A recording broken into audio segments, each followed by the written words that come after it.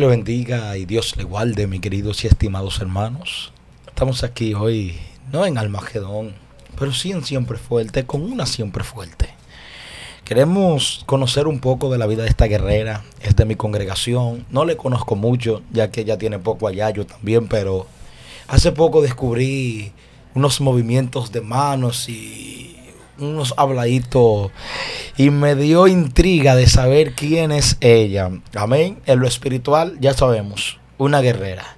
Pero fuera de ahí queremos conocer quién es esta guerrera. Damas y caballeros, con nosotros, nuestra guerrera. Dios te bendiga, hermana. Cuéntanos tu nombre y dónde naces. Amén. Mi nombre es Viviana Canela Ulloa. Nacida aquí y mis padres son de la Francisco, la 42, esos sitios. Amén, amén. ¿Naciste en el Evangelio o cómo? No nací en el Evangelio, pero ya cuando tuve ciertas edades, mi padre y mi madre eran pastores. Mm. O sea, me crié en el Evangelio, pero luego que fui adolescente, seguí en el Evangelio. Fui siete años presidenta de los jóvenes y luego me aparté. ¿Siete años? Oh. ¿Y te apartaste? ¿A qué edad fue eso? Me aparté a los 19 años. A los 19 años.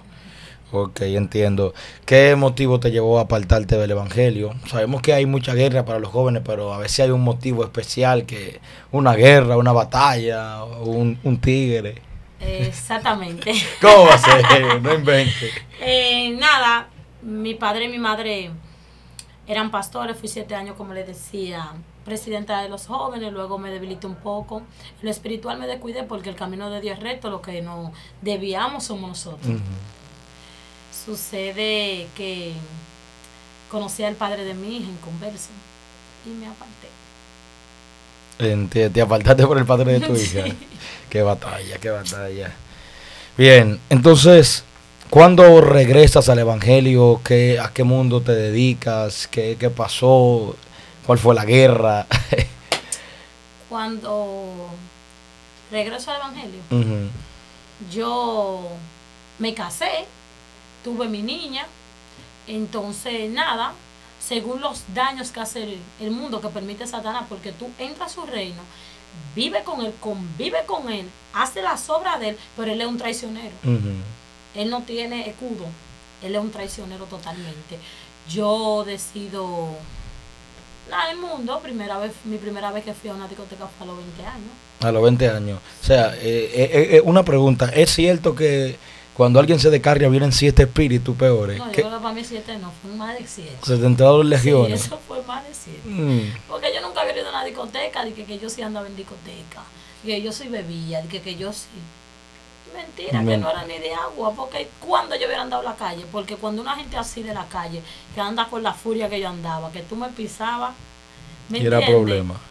Es cuando tú vienes desde niño en el mundo, pero cuando tú te has criado en un hogar de paz, amor de Dios, es diferente las cosas. Entiendo. Ey, y, pero tú eras, ¿qué fue? ¿Te dio una rabia, un mama pleito, diste botellazo, tuve estocadas? No, no armé mucho pleito así, pero era una persona contendosa, yo no puedo convivir con nadie, tú me la hacías, tú me la pagabas. Mm. Yo no contendía con gente, eso era tú me decías, yo te decía, un problema, totalmente. Lo que es el mundo, un problema. Bien. Eh, una pregunta. Escuché por ahí de un proceso que te pasó. No sé si fue en el mundo, en la iglesia, te pasó, te pasó un problema en el mundo. Cuéntanos de cosas atroces que te hayan pasado en el mundo. Entre ellas ya sería la ah, siempre hay cosas que uno dice, bueno, ¿por qué me salí o por algo? ¿Te pasó algo similar de lo que te arrepentiste por haber salido del evangelio? Sí, muchas cosas. La mayoría de mi vida me he arrepentido y aún me arrepiento porque yo dije que todo ese momento yo tenía que dedicárselo a Dios. Que, que Dios me hizo nada. Una cosa que te haga el hombre, una cosa que te haga Dios. ¿Entiendes? Dios a mí no me hizo nada. Sucede, eh, yo me aparté del papá de mis hijas, conocí a mi esposo, le hice mucho daño en el mundo, en demonía, Mm. mucho daño, le hice mucho daño en todos los sentidos, mucho daño. Eh, porque un daño que Satanás me hizo, yo lo quise venir a suministrar, esa es la palabra, a alguien que en verdad fue Dios que me lo puso en mi camino. Bueno, de él perdí siete barrigas. ¿Siete barrigas? Siete barrigas. Pero ¿y cómo era? ¿Era que te daba golpe o qué? No, las siete barrigas que yo perdí, yo la tenía, sabía que estaba embarazada, pero no me, no hacía un autoanálisis, no me sentaba, no me estaba tranquila. Es que era algo que vivía en mí, que yo no podía hacer yo. Yo no me controlaba yo misma, yo no tenía un dominio propio. Alguien gobernaba mi vida. ¿Entiendes? Y yo me montaba en motores, me iba para río, para coro, para discoteca. Se me salían los muchachos. El último embarazo, yo lo tuve, fue en de dos mellizos. Y nada, tenía mi embarazo normal, yo iba normal. Sí. ¿Qué pasa? Que cuando se me murieron los niños, mira a ver si yo tenía un autocontrol tan fuerte que yo no me di cuenta que me murieron los niños. Yo duré con los niños tres a cuatro días muertos, a pesar, aparte del proceso que hay que hacer aquí en el NEIARIA, que es un día o dos días que tú duras para entrar a una cirugía. Sí. Entro a la cirugía. Cuatro días muertos duraron. Cuatro días muertos. Ya me afectó el ovario. Ay, padre, obvio. Eso tiene. me afectó el ovario y ahí fui operada de un ovario y me prepararon. Bien. Eh, nada, estoy en el NEI, cuando estoy en el NEI me hacen mi operación. En medio de mi operación yo estoy acostada boca arriba. Y las que se han operado saben que entrar a un quirófano es así. No sé si usted ha entrado a un quirófano. Cuando estoy en el quirófano hay como una luz blanca en mi cara. Y yo veo que hay una luz blanca que pasa, pero una luz negra que me arropa, pero como un combate. Cuando llego a mi casa, mi hermana me dice, wow, llegué del monte, porque yo tuve que irme para el monte porque el ángel de la muerte estaba en medio de la operación. Y yo lo vi, porque había como una luz, una tiniebla blanca que guerreaba con el de la tiniebla negra. Nada. Cuando me sacan a sala de espera, luego me llevan a sala de, de donde pueden entrar mis familiares Sí. cuando estoy ahí veo a una doctora, una enfermera, perdón, y me pone una inyección en mi glúteo derecho. Todo bien. Eh, cuando comienza a dolerme, yo le digo, mami, me duele mucho, no puedo caminar. Porque tú el que opera siempre esperan 24 o 48 horas para poderse levantar. Cuando yo doy el primer paso, digo, mami, no puedo. Porque me duelen, duelen de una manera que no aguanto. Mami me dice, ¿por qué? Cuando mi madre va a aquella parte de mi ¿Para, cuerpo, ¿Para qué era la inyección? para eso es un refuerzo, porque tenía muchos días con los niños muertos y ya estaba muy débil, es un refuerzo. Bien, cuando le digo, mami, yo no puedo, bueno, pues llega mi esposo, que le doy gracias a Dios por él y que en público le debo mucho perdón a Dios como a él. Nada, yo, esa parte se fue poniendo oscura, marrón, como color vino. Luego se puso negra totalmente. Totalmente. Me llevaron a hacerme sonografía en el glúteo. Resonancia magnética. Y no me salía absolutamente nada. Nada me salía. Que una inyección, un líquido que no estaba en el proceso del cuerpo. Ok, entonces, nada, me dejan interna en el materno y me abrieron un hoyo como para sacarme todo, los gusanos, la pu, todo eso, para que yo drenara por ahí. No caminaba. Yo no me valía. Yo no era yo. Cuando Dios llega a mi vida, va un muchacho, se llama Ángel, me dice, vine a darte una palabra de parte de Dios. Dios te necesita en el camino porque grandes cosas tiene para hacer contigo y te llevará lejos. Me dice, yo yo, amén, varón. Usted sabe, una gente en demonía, amén, varón. Ora por mí, ore por mí. Ya. Cuando llego a mi casa, a través de él, no camino. A pesar de todo eso, de dos meses duré interna en el hospital, con eso abierto. eh, me dice mi esposo, y aún así con todo lo que te ha pasado, tú no te vas a reconciliar. Y yo normalmente, ¿cómo tú me estás mandando a reconciliarme, varón, si usted es inconverso? ¿Qué es lo que usted me está hablando a mí? Sí mismo. Nada, porque malcriata decía. Nada, eh, el muchacho ora por mí, llega a mi casa, ora por mí. Me dicen en el hospital que tenían que despacharme a la casa, pero yo digo que todo fue obra de Dios. Porque ellos no pensaban darme de alta. Ellos pensaban dejarme ahí a que yo me secara, me pudriera ahí o me sanara ahí. Y vino Dios y tomó una decisión. Me dio una crisis que perdí conocimiento todo y me detectaron COVID. Cuando me detectan COVID me dicen que yo me tengo que ir a mi casa, encerrarme en un cuarto a sola, que yo no puedo estar pegada de mis hijas, etcétera. Es un mundo que ellos decían.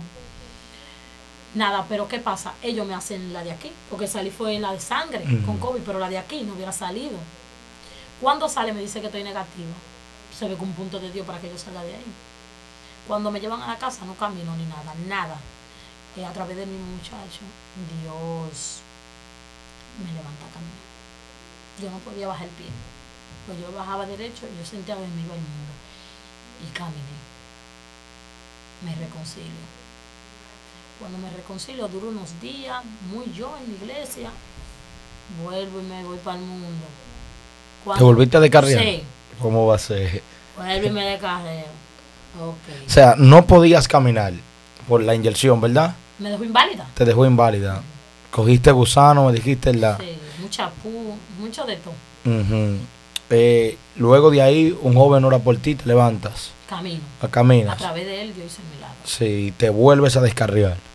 Continúa. Ok. Entonces, pues bien, sucede que yo estoy descarriada y estoy ante mi suegra en Yamasá, la madre de mi esposo, Olga. Cuando estoy allá, llevan un retiro. Me dice una muchacha, mira, dice el Señor que tú estás embarazada. Digo, ¿cómo? ¿Cómo que estoy embarazada? Me burlo. Fue una burla. Claro. Y la, y la palabra de Dios no vergüenza. Me burlo. Digo, ay, hombre. Pero nada, tengo que recibirla porque yo sé el camino. Sí. ¿Y por qué te burlaste cuando te dijeron que estaba embarazada? Me burlo Una vez que ya hubieras tenido siete es que muchachos. Ya no hay un ovario. Ok. Es que ya estoy preparada. Es que ya he pasado tanta cosa que cómo voy a salir embarazada. Claro, tiene ¿De lógica. qué manera? Es algo como que un emocionado. ¿Tú crees que esa te emociona? Sí, me, me, imagino yo. y yo muerta y le hago a mi cuñada que se llama Ronelli. Oye, di que preña. Nada, cuando me dice ella, sí, tú estás embarazada. Y yo sé que tu interior, en tu corazón, tú no lo crees. Pero el sábado, a las 12 de la tarde, o sea, del mediodía, si dura dos media te va a dar un dolor que no eres tú. Y yo, ajá, bueno. Y no te hago la prueba hasta que no llegue el sábado. Yo dije, ajá, ok. Hasta mi suegra se ríe ese día. Mm. Nada, porque estamos esperando. Pero sí. la única vez en la vida que la vio mi suegra, mi cuñada, danzando en lengua, mi suegra, fue ese día. Pero un ignorante, lleno del espíritu maligno, ¿qué uno va a pensar eso? Nada. Sucede que cuando llegue el sábado, mi hermano Steven, a mí me dio un dolor. Pero un dolor yo decía, Dios mío. Mi esposo estaba aquí en la capital, porque estaban en Yamasán de su madre. Y le digo, mi amor, tráeme una prueba, tráeme una pastilla, tráeme algo. Que yo no sé qué es lo que yo tengo. Yo me estoy muriendo aquí agotada. Podemos decirle, mis amados, que eso fue el niño que tengo ahora. Embarazada. Digo, bueno, ahora sí. Pero aún así, no me reconcilio con Dios. Oye, lo fuerte. Pero lo que pasa es que el hombre no entiende que cuando Dios pone, aunque el hombre ni ponga, Dios puso. Uh -huh. Nada. Cuando estoy embarazada, mucho, mancho, y mi esposo, ese no lo mandó Dios. Ese no lo mandó Dios, tranquila. Y yo tranquila. A los seis meses de embarazo, me faltaba una semana para los siete meses. Me dio un dolor y paro al bebé. Pero, a los siete meses seis meses y me faltaba una semana para los siete. ¿Cómo va a ser? Ay, ay, ay. Sucede que el niño me van a hacer una cesárea a las 4 de la tarde. Me van a hacer una cesárea. En el mismo materno, porque Dios me mandó a decir a través de una campaña, tú tienes que ir, yo, me, yo iba a parir en la maternidad de la Altagracia, tú tienes que ir allá mismo a demostrarle de que Dios sí existe, porque mi doctora cuando yo la llamé me dijo, yo no lo creo que tú estés embarazada, porque que fui yo quien te operé fui yo quien te moché. Yo no lo creo. Yo le dije a mi esposo, ya la doctora que no lo crea muerta loca. Le dije, nada. No, no me he reconciliado todavía. Sucede. que cuando doy a las 4 de la tarde me llevan para quirófano, hacerme la cesárea, de sacarme el bebé que tengo, el de ahora. Dios dijo, tú no vas a parir con cesárea. Yo escuché esa voz clara y yo dije, oh, y me dio, yo ni pujé. El niño nació de 3 libras, punto 5. Yo ni pujé. Mi hijo no tenía ni pulmones. Y mi hijo no me lo dejaron ni incubadora, ni interno, nada. Nada, nada, nada. No llegué ni a sala de preparto ni a sala de parto. Eso fue en sala normal, porque ellos me tenían mirándome. Ellos me ponían un líquido que era para madurarle los supuestos pulmones al niño, que me dormían el día entero. Yo estaba durmiendo y mi esposo abajo, hincado en una gravilla, pidiéndole a Dios que todo salga bien. Y yo durmiendo. ¿Qué pasa? Otra me dice, a las cuatro tú pares, se muera o vive el niño. Y yo, ajá, oye el diablo hablando. Sí. Impía, porque el impío tiene su razonamiento. Nada. Eh, cuando estoy ahí y doy a lo el niño, sin doctoras, doctores, sin nadie en una habitación trancada. Sin nadie. Comienzo a llamar, porque estoy viendo al niño, pero lo quiero coger, pero el condón umbilical lo tiene como enredado. Y si cuando viene a los lo puedo holcar. Cuando llega la doctora, comenzó a buscar doctores. Cuando tengo el niño, tengo el niño, lo estoy amamantando. Me dice que tiene que llevarse el niño, que tiene que llevarse el niño. Pero si el niño hubiera venido con problemas, ya se hubiera muerto ahí. El tiempo que ustedes tienen, le dije, ustedes no me lo pueden llevar. No, tenemos que llevarlo para revisarlo. Que Digo, Jehová, no me lo dijiste, no, porque de aquí yo no me voy a morir. Que se me lo diste tú. Nada, cuando salgo de ahí, todavía soy un conversa. Y Dios permitió que entre un espíritu de depresión a mi vida. La cual una mujer en medio de una campaña me relató mi vida completa. Completa. Todo. Y Dios hizo el trabajo en mí. Y yo hasta hoy y hasta el final. en esa, ahí fue que llegaste a Cristo. Sí, llegué a Cristo nuevamente y volví a los pies de Dios. Y era que no te daba miedo morirte, que duraste tanto ya para entregarle tu vida al Señor. ¿Qué te digo? Me daba miedo morirme, pero había un segundo personaje en mí que me decía, tranquila, porque esa muchacha la va a criar tu mamá, tú sabes que tu mamá es una mujer pudiente y no la va a dejar morir, ni la va a dejar pasar hambre, porque ella sabe que su papá no es responsable. Ella no la va a dejar morir tu mamá está bien. Eso era lo que me decía. Me decía, ay, tú quieres, tú lo que tienes que hacer en medio de esto, matate y ya. Y un día me dice mi madre, yo te voy a decir una cosa a ti. Usted es más bonita. decía, digo, oye, la piedra hablando. Así me invito. Porque a pesar de todo, Satanás quería hacer un escenario en mí que no era. Yo era enemiga de mi mamá, varón. A ti te poseyó un espíritu de rebeldía. Rebeldía, metresa.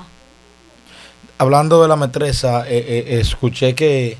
¿Cómo conoce la sana doctrina? ¿Cómo entra? Porque escuché que tú tenías una guerra con las metresas, que hasta iban y tú no podías dormir con ropa y ahora te veo forrar hasta los ojos.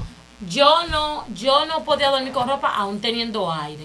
Mm. Yo no podía. Eso era algo que yo sentía. Yo decía, cuando mi hermana se convirtió, ella, Dios la llamó a sana doctrina y ella estaba en una iglesia mundana.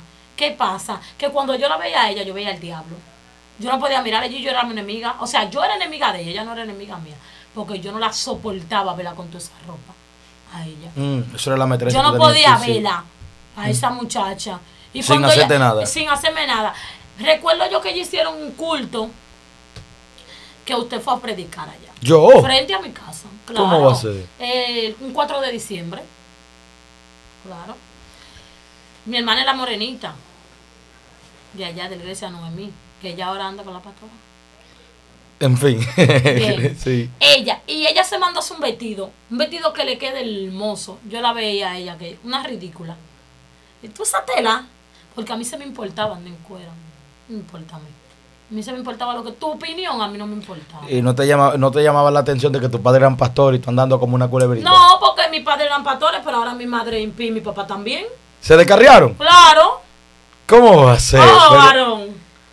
Te digo que cuando Satanás entra, entra de barata con todo, eh. Él no entra de que, que me voy a llevar a la hija, de que, es con todo, es de barata un hogar, un hogar. Oye, ¿qué pasa? El cristiano que le da mucho palo a Satanás tiene que estar siempre metido en la chequina porque cuando Satanás lo agarre le va a dar barata todo, eh. Sí. Es todo que le va a dar. estar sometido es a Dios. con todo que le va a dar, varón. Con todo. Familia, niños. Oye, mi papá era un hombre que me daba un millón de pesos a guardar yo con 16 años.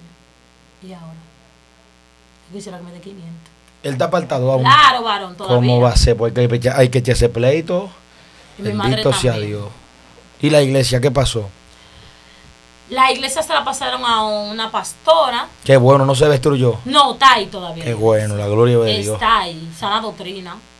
Mm. Sí, porque éramos sana doctrina. Es tan tal que en mi tiempo, ¿Y por qué le cogiste odio después de la vestidura? Eso es extraño. no, yo no quería saber de eso, espérate. La metresa fue que te tomaron. Oh, yo lo que quería andar era en cuera. Y todos los tenis, ¿Y en la iglesia? y todos los... No, en la iglesia no, porque yo más nunca volví a iglesia. Y nunca... O sea, cuando tú eras cristiana, ¿cómo tú andabas? ¿Andabas bien vestida o, o andaba doctrina, varón. y después que te descarriaste le cogiste odio a eso? Odio. Eso era una Yo no metresa podía- que tú portabas. claro, yo no podía ver eso. Mm. Yo no podía ver eso. Es tan fuerte que cuando mi hermana se reconcilió, yo le dije, ¿tú vas a verte así? ¿Tú vas a verte así? Bueno. Oye, después que venimos de un mundo así, Sí. ¿entiendes? ¿Y tú crees que hay alguna metresa que odia la forma de vestir? Claro. ¿O nosotros los que estamos medio extremistas o estamos No, algo? no, no, no. Hay- Hay una metresa que odia la forma del sana doctrina vestir. La odia. ¿Tú sabes por qué? Porque yo he escuchado gente, yo he llegado al colmado he escuchado gente que dicen, yo no sé cómo esa muchacha se ve ahí arriba con este calor y esos abrigos. Entonces, ¿por qué Sí. te molesta? Sí. Algo hay que te molesta, no te puede molestar de la nada. Sí. Algo hay que te Como tú, que primero la usabas y después le cogiste odio. ¿Me Eso no entiendes? normal. Eso no es algo normal. Entiendo, Bien, entiendo. yo no podía, como te continuaba diciendo, yo no, te yo no podía dormir con ropa, eso era algo que era terrible. ¿Qué pasa? Que por eso que yo digo que el cristiano no puede mantener una chelcha. Cuando tú mantienes una chelcha, una risa, un, un pa' allí, un pa' acá, tú tienes que estar estable. Porque Sí. los demonios quizá no te han podido llegar, pero en una chelcha, en una risa, penetran y hay problemas.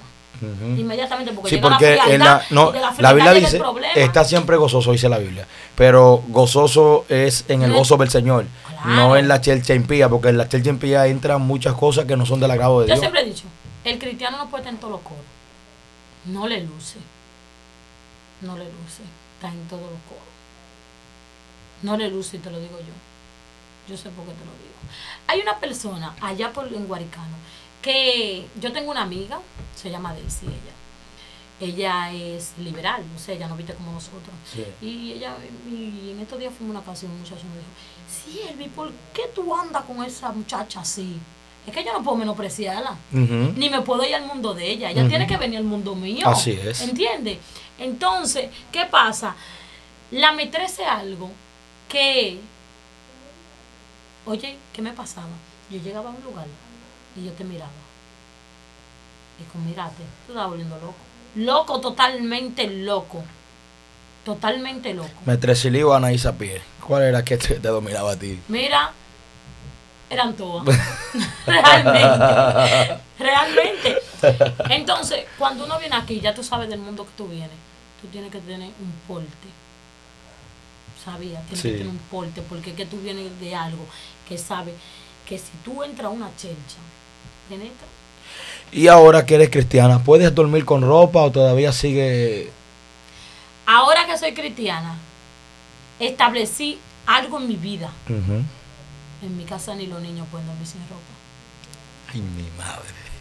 Ni los niños. Te digo por qué. Porque si entra la vida de una hija mía o del Wow. niño mío, yo voy a guerrear con eso Wow. y voy a traer problemas. Entonces, si yo soy santa, usted tiene que ser santa. Mi marido es inconverso.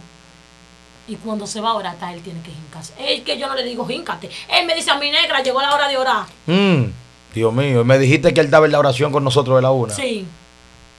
Él ora. A veces yo le digo, híncate primero. Si él va, no se acueste sin orar. No venga con su oracioncita de que en pan me acotaré así. No, venga a orar. Wow. Así mismo me lo dice. Declaramos Entonces, ese guerrero para Cristo en nombre de Jesús. Amén. Entonces, ¿qué pasa? Que en estos días a las 3 de la mañana, porque a veces Dios te inta de tal manera que tú le das galleta, Dios te da galleta, te da trompa, te trae para allí, te levanta el muchacho, el muchacho te toca la puerta. Sí. Y ni así tú entiendes que es un punto para que te levante ahora. Sí. Cuando me levanto ahora, que voy al baño, oh, veo a esta señora con su culebra sentada en mi comedor. Señor. Un pajón y la culebra envuelta. Sí. Cuando digo, oh, espérate, porque esta casa es mía y donde están los santos no pueden estar los diablos. Y aquí se cayó un vaso, plá, digo, levántalo si tú quieres y no déjalo ahí que por la mañana yo lo paro. No, es que no te puedes. Es que ya cuando tú vienes de un mundo que tú sabes quién tú eras, ahora, quién tú eres, tú no puedes tener miedo. A los demonios no se les tiene miedo, a los demonios se le ordenan y ellos tienen que ir, pues ellos no son nadie. Nadie son ellos. Ante alguien que está sometido a ¿Me Dios. entiendes? Ujú. Oye, ¿qué pasa? Y no es que ellos dejan de hacerte guerra nunca, pero si uno se agarra del fuerte, Así es. se mantiene en la línea. Cuando yo me, me reconcilié la última vez, le dije, Dios, no, no permita que yo me agarre. No permita que yo me agarre de ti. No. Porque las veces que me he descarriado es porque me he agarrado de ti. Amén. Las veces que me he descarriado es porque me he agarrado de ti. Agárrame tú a mí. Han llegado los deseos, no te voy a decir que no. Claro que han llegado los deseos. Y mira, los tenis, muchacha, porque yo en el mundo no uso zapatillas. Tenis van y tenis vienen. Los tenis, mira, muchacha, ¿por qué? ¿Qué te quiero dejar dicho, Steven Javier? Porque Sí. Satanás sabe quién tú eres en el mundo. Satanás sabe también quién tú eres en la mano de Dios. Le dije a Dios, mira, no permita que yo me agarre de ti. Agárrame tú a mí. Fui a un culto a Yamasano hace mucho y un muchacho de San Cristóbal, de Cambita, me dijo, cumplida tu promesa. Dios te agarró. A ti han llegado los deseos de descarriar, me han llegado los deseos de retroceder. Y es que Él me agarró y cuando Él me agarró, no hay forma. No hay forma. No hay forma de caerme. ¿Qué tiempo tienes ya? Ya tengo cuatro meses. Cuatro meses. Nombre de Jesús de Nazaret. Estás nuevecita, pero seguimos orando por ti. Yo creo que la firmeza con la que te vemos y todo eh, te vas a mantener y no aceptamos represalia ni por medio de esta entrevista ni a ninguna cosa que pueda hacerle. Te veo siempre prendido en la iglesia, sacudida. Digo, yo, ya está loca, ¿quién es? Sí. A veces, prendida en lo, Dios. oye, pueden estar los cultos, alabaré, alabaré. Mm. Y yo estoy como que estamos en un escenario, como que, no la como que estaban en Sí. viernes 13. Amén, ¿Te amén, acuerdas? sí. Así mismo que estamos. Tenemos que ganarnos tus padres para Cristo, tus hermanas, todo. eh, aleluya y seguir esperando. Así que nada, concerniente a todo lo que has dicho y tu testimonio, dale un consejo a esas personas que te están escuchando. Mira esa cámara y ahí tú le das un consejo de parte del Señor. Gloria y ahí cerramos. Nada, le voy a dar como consejo de la experiencia que tuve, que lo mejor es buscar los pies de Cristo y decirle, Dios, agárrame tú, agarra a mi familia. Los niños se enferman y yo no estoy para ir para médico. Yo cojo un aceite que lo lleve por un monte por ahí, le doy dos cucharadas y tienen que sanarse. Amén. Amén. Entonces, todo obra para bien en este mundo, en el mundo de Cristo. En el mundo de Satanás tenemos perdición, porque no vamos a quemar, no vamos para el infierno. Y aquí estamos gozosos, vivimos bien, no gastamos en cerveza, no gastamos en romo, no gozamos. ¿Quién dijo que los pentecostales no gozan? Así es. No gozamos y vamos para el cielo a gozar nomás. Entonces, esto es para el cielo que vamos. Amén. Dios te bendiga mucho, manita. Gracias por este compartir este momento con nosotros. Una última pregunta que me surge de curiosidad. ¿Qué edad tienes? 26. 26, oh, nada, jovencita. Nada, Dios te bendiga y gracias por estar aquí. Amén.